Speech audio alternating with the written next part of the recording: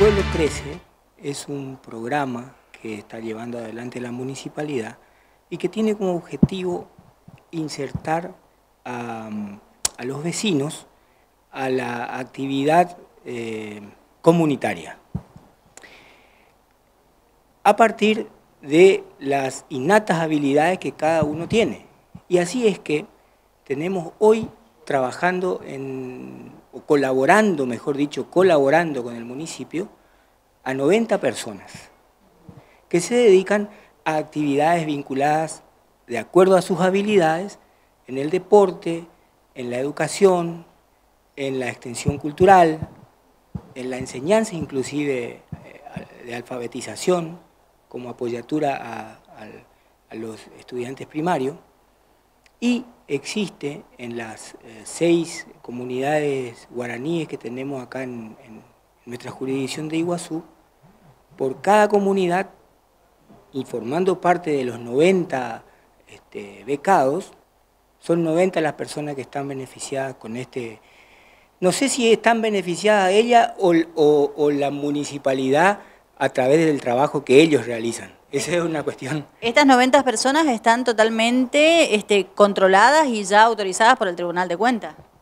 Sí, porque está en, el marco presupuestario que, que, el Consejo Deliberante en su momento aprobó y que el Tribunal de Cuentas año tras año eh, hace las evaluaciones de la ejecución presupuestaria del municipio.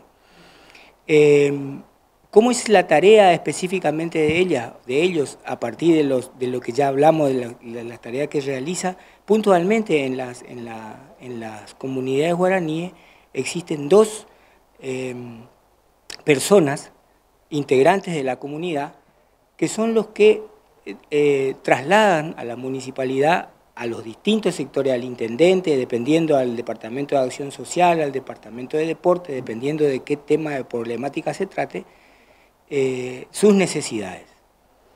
Esa es la, cuestión. Y básicamente porque estas personas eh, son, son los que comprenden en realidad la idiosincrasia del pueblo y qué es lo que están ellos eh, como prioritariamente necesitando. Por eso son integrantes de la propia comunidad.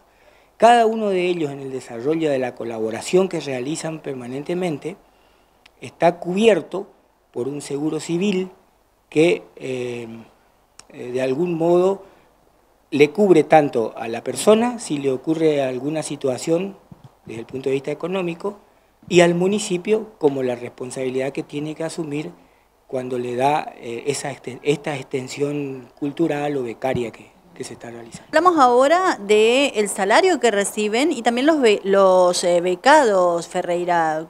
¿Cómo trabajan ahí? Allí nosotros tenemos eh, presupuestado una ejecución de, este, nos llega alrededor de 8 millones de pesos anuales eh, en, esta, en, esta, en, esta, en esta modalidad de becas, que incluye no tan solamente la beca, sino todos aquellos otros gastos que hubiera para poder concretar lo que cada uno de ellos nos acerca como, como prioridad y como necesidad para poder realizar la tarea.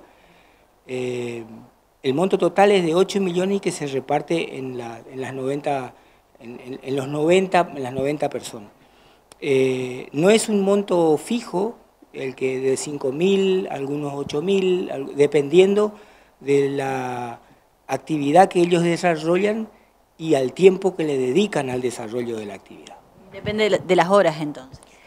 Sí, eh, de, las horas y, o si no, básicamente del lugar en el cual desarrollan su tarea o, su actividad. Muchas veces son personas que están trabajando en la zona céntrica del casco urbano, realizando tareas este, que, no conlleva un mayor riesgo y en ese caso eh, perciben menos que otros que están trasladándose en distintos en distintos eh, barrios de la ciudad, ¿cierto?